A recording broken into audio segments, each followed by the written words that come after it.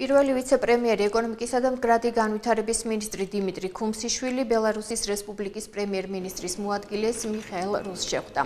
შეხვედრა ბელარუსის პრეზიდენტის საქართველოსში ვიზიტის ფარგლებში გაიმართა. შეხვედრაზე მხარეებმა ორი ქვეყნის სავაჭრო-ეკონომიკური ურთიერთობები განიხილეს და თანამშრომლობის პრიორიტეტულ მიმართულებებზე ისაუბრეს.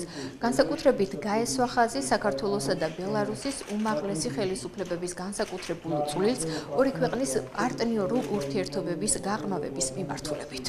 ბელორუსიასთან ჩვენ გვაქვს ძალიან აქტიური სავაჭრო ურთიერთობები, წლიდან წლამდე ბრუნვა იზრდება, შესაბამისად ჩვენი ამოცანა არის, რომ ამაში მაქსიმალურად ხელი შეუწყოთ კერძო სექტორს, მოვხსნათ ყველა ის შესაძლო ბარიერი, რომელიც ამ მიმართულებით არსებობს, ერთ-ერთი მნიშვნელოვანი მიმართულება, რაზეც ჩვენ ამ შეხვედრების განმავლობაში ვიმუშავებთ, ეს იქნება ის სატრანსპორტო კორიდორი, რომელიც სატრანსპორტო კორიდორმაც უნდა უზრუნველყოს შესაბამისი კონკურენტული ფასები და შესაბამისად უნდა მოგცეს შესაძლებლობა იმისა, რომ რაც შეიძლება მეტად გავზარდოთ ჩვენი სავაჭრო ბრუნვა.